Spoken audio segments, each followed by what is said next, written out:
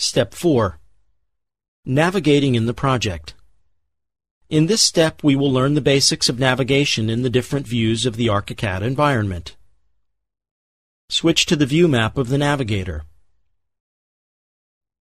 Open the Microsoft Hungary Office Building and the Collaboration ITG folders. Activate the first ground floor preset view located in the Chapter 1 folder by double-clicking its name.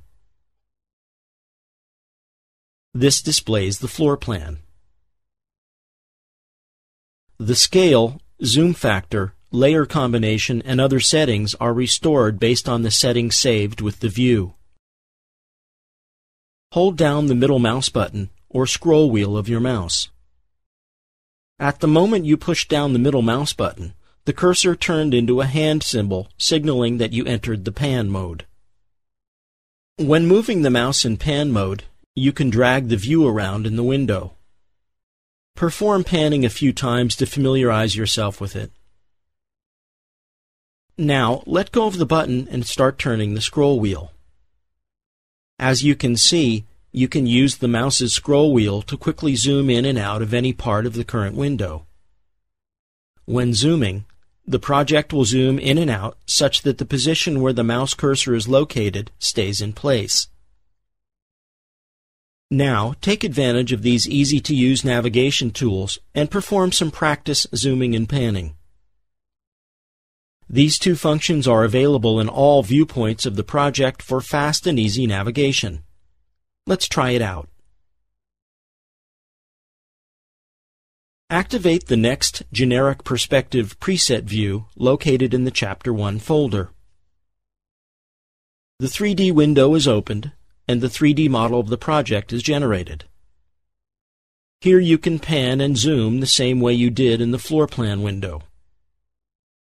Now, hold down the Shift key on your keyboard and also hold down your mouse's middle button or scroll wheel. The mouse cursor changes to a different cursor shape, showing that you have entered the orbit mode.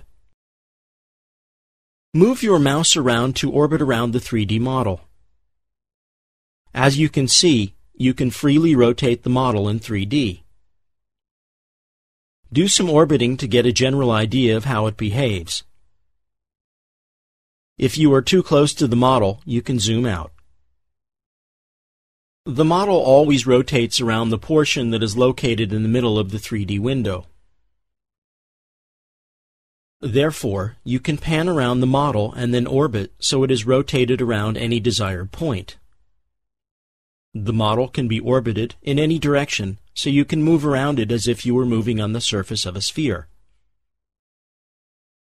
Spend some time familiarizing yourself with zooming, panning, and orbiting in 3D, and also try using these functions in combinations.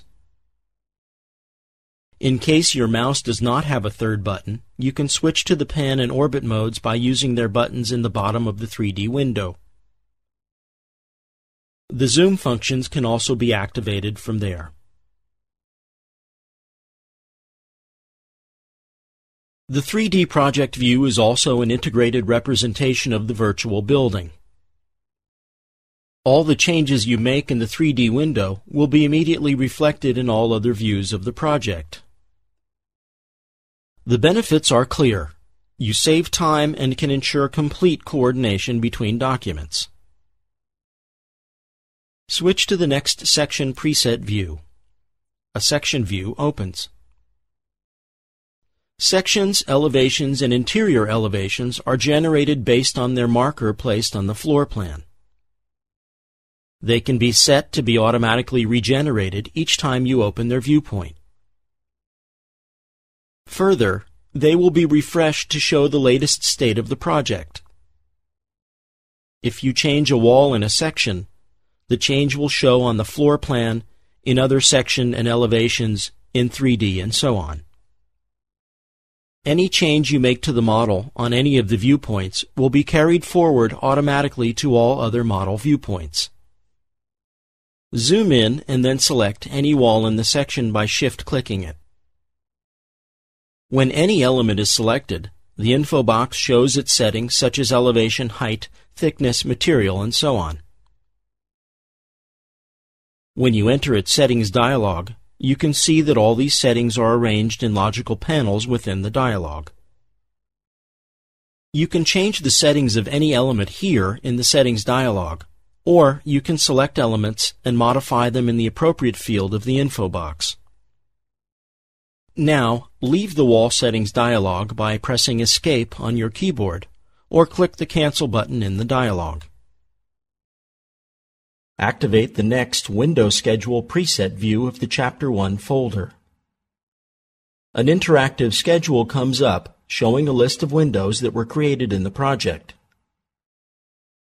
This schedule is based on the 3D model and always reflects the latest state of the project.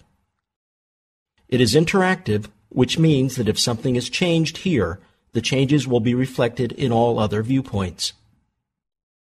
The benefits are clear. You save time and are assured complete coordination between all the project views and documents. Activate the last sketch rendering preset view of the Chapter 1 folder. First, the 3D viewpoint opens up, then a rendering window will be shown. This rendering is generated with a so-called sketch style based on the model data of the 3D viewpoint. ArchiCAD has several built-in rendering engines that can help produce high-quality renderings for presentation purposes. We will not, however, be dealing with rendering in this interactive training guide. The ninth chapter of the ArchiCAD Essentials ITG is a good place to familiarize yourself with these capabilities of ArchiCAD. We hope this short introduction helped you realize that the virtual building approach, also called BIM, is an integrated 3D model. In this integrated model, all data comes to and is generated from a building database that always shows the latest state of the project model, no matter which viewpoint you are working on. We also hope you can see the possible advantages this approach has when compared to more traditional workflows and approaches. Now we will begin to actually set up the project and work with it